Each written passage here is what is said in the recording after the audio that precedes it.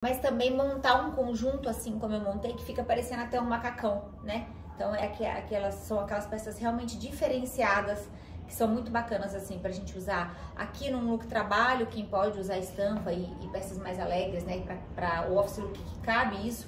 Eu acho que fica muito legal pra gente usar com uma camisa, de repente com um coletinho, sabe? É, e deixando só a peça como uma peça-chave do look. Aqui é a mesma coisa, por baixo de um blazer, por baixo de uma jaquetinha. Mas como conjunto, assim, ó, eu achei que ficou muito lindo. A calça é do 36, as peças são do 36 ao 44, o caimento tá impecável, cintura com elástico e regulagem, bolsos.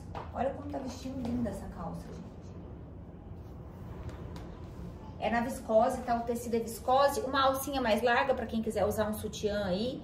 Acho que fica bacana também. Apesar de que atrás ela é um pouquinho mais baixa, mas dá para usar com sutiã ainda. E aqui tem mais algumas peças que vêm dessa família